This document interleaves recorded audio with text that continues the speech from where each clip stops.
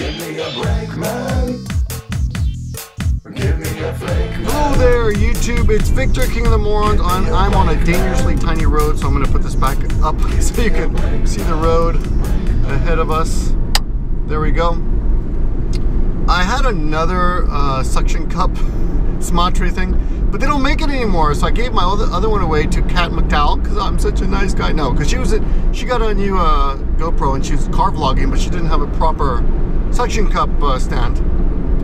And uh, I don't quite like this one because I can't turn it around like the other one. I can just flip it around quickly. This one's much more difficult, so you'll have to just imagine my face instead of uh, looking at it. But anyway, today is, is May 23rd. It's a Saturday morning. I'm off to work. I sometimes work on the weekends. Uh, erratic schedule on the weekends. And Kaz is back in town. Kazuko from Japan. A little news for you. A little J vlogging news for you. Uh, it was also Big Dean's birthday. For those of you who knows the three, uh, what are those three old dudes? I think they're three old dudes. Yeah. Anyway, little news for you there. And uh, I'm doing a request uh, response for one of my Patreon viewers who asked me this question about a week ago. And they sent me an article, which I will link in the description. It's a very short article. It's about Americans who are are renouncing their citizenship. Now, I did not know this, but apparently 7.6 million Americans live abroad. And uh, let's see, the amount of Americans renouncing their citizenship has jumped like 15 times since 2008 or something. It's just amazing. And this year alone, already 1,335, and this is a week ago or so, probably more by now, 1,335 people have renounced their citizenship uh, so far this year. And so that, what, what, that, what, what that means is that we're on we're on pace to break the record. so this year, apparently, if, if, we, if we continue at this rate, it will be this will this will uh, be our biggest year meaning not, not our biggest year but this will this will be the year that the most people renounce their citizenship. Now you might remember a few years ago a big uh, one of the big wigs from i think it was facebook some billionaire millionaire renounced his citizenship and went to singapore. And apparently it was because of taxes. That's what everyone says and the, uh, the thing I don't get about this is that the article states that you cannot do this because of taxes. It's illegal. So I don't know how, you know, that's strange. Maybe what that means is if you say, oh, I don't want to pay the taxes anymore, so I I'm going to renounce my citizenship, that they'll say, no, that's not a good reason. Uh, I don't know what kind of reason you would give, like, I don't like the chips here, the, the fries are no good. I'm sick of the cola wars. I don't know what, what kind of reason you would give that would satisfy the government, but maybe you just want to. I, I, I would think the best reason would be that you're just moving to another country and you're going to live there now and you no longer, you know, see, see the reason to be an American citizen. You want to be a citizen of another country. Uh, because I think, uh, yeah, you cannot be the citizen of another. This is this is the weird thing. Technically, you cannot be the citizen citizen of another country at the same time, unless unless you're from a certain country that allows that, or you're a certain sex. Let me explain that. Okay, this is kind of some weird shit.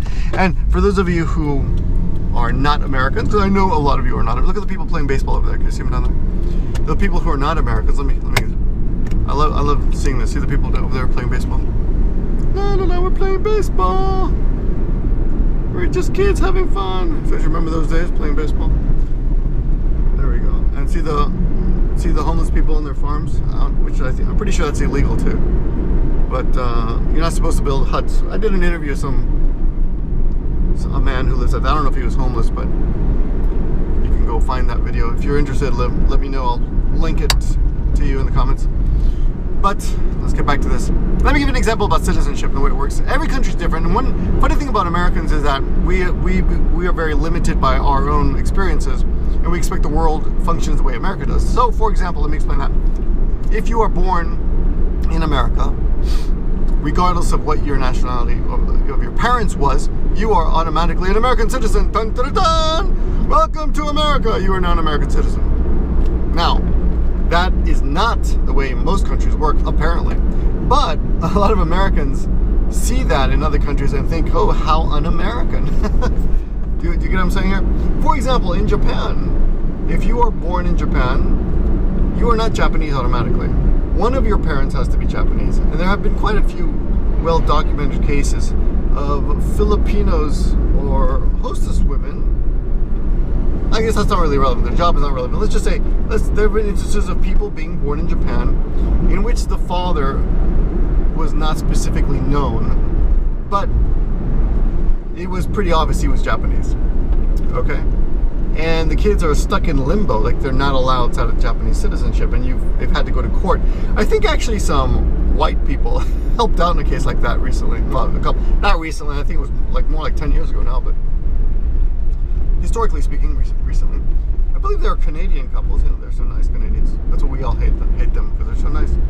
Uh, they apparently helped this this uh, this kid who had no parents. I think the mother left him too. That's what it was, maybe. Anyway, the, the court recognized that the father was uh, Japanese and gave him citizenship, but it took a, it took a while.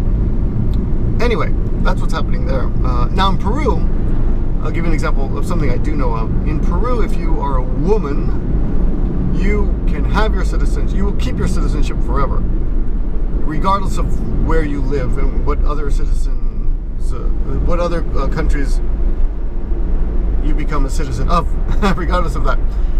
Because this is to protect the woman. So in case, for example, a evil white man, the evil white devil, marries a poor Peruvian unsuspecting woman and takes him takes her back to his country and then abuses her and she decides she wants to get a divorce get a divorce in cases like that the government the the Peruvian government will welcome her back with open arms and she is once again a Peruvian citizenship and has all the rights that a normal Peruvian has uh, which means to steal your hubcaps okay? Just kidding Peruvians. We know we're not all thieves okay? Anywho um, yeah that's um that's the way it works in some countries.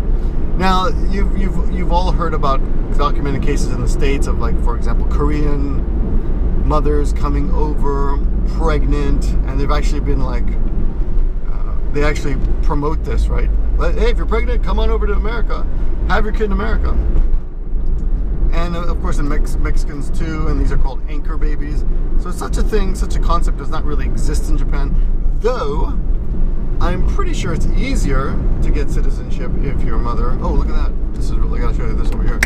This is really cool. You don't see a lot of this. You guys see that? People are rowing out there. It's good. It's, know. uh, what is that called? Crew. Look at that. I've, I haven't seen a team that big in a while though. One, two, three, four, five, six, seven, eight, nine. Is that nine? Can't can't count and drive at the same time. But anyway, little little scenery for you. Whoops. Okay, back to the back to the road. Eyes on the road. Eyes forward, soldier. Uh, yeah. You would think peripheral vision would be more important than forward. I can see what's ahead of me, but if I'm a soldier, I wanna I wanna make sure what's on the side of me, creeping up on me. Anywho, so that's what that's the way it works there. Now let's go back to this issue, the question that someone asked me. I think the question was whether I ever considered it, and my answer would be simply no. I have no interest in renouncing my American uh, citizenship, but at the same time, I kind of think all of that. Of course, it's a man-made construct citizenship. You happen to be born in a certain country, so you're automatically a citizen of that country. That seems all kind of silly. Uh, it's just luck most of the time.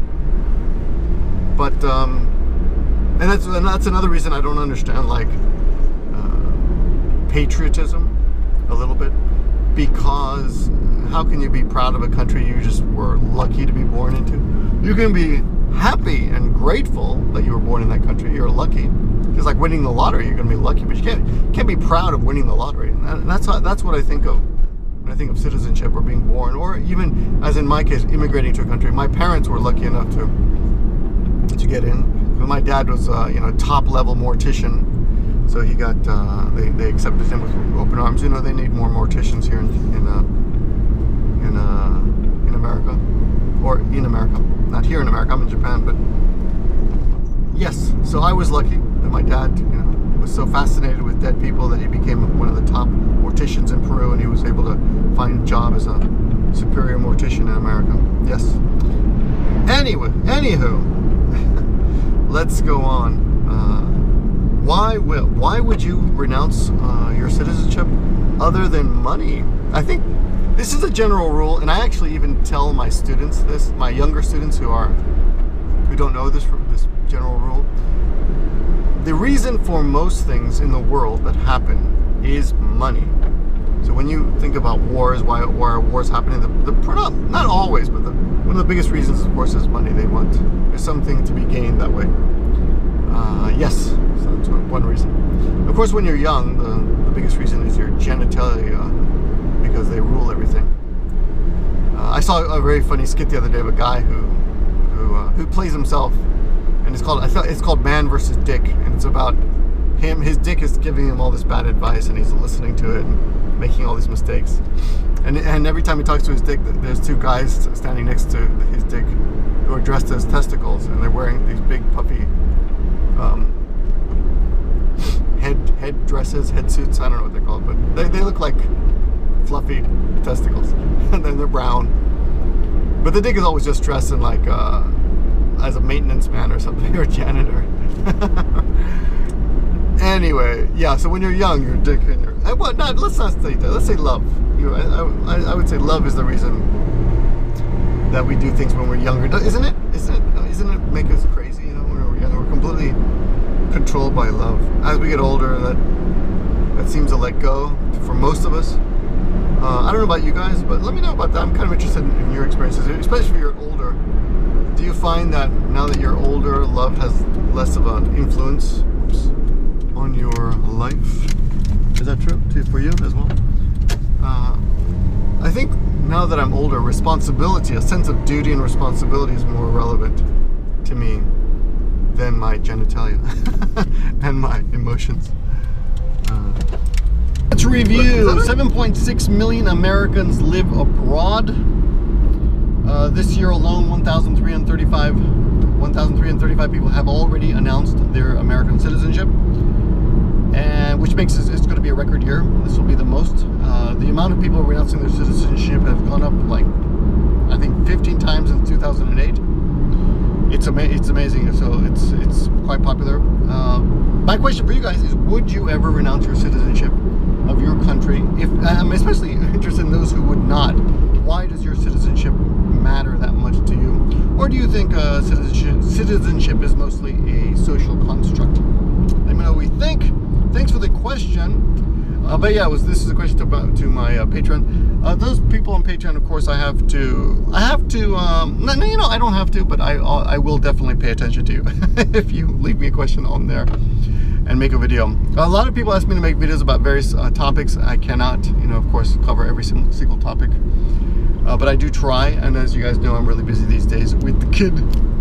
But thanks for watching, and I appreciate it. And please leave your thumbs up. It's not that hard. It does help the video. And it's, you know, it doesn't cost you anything.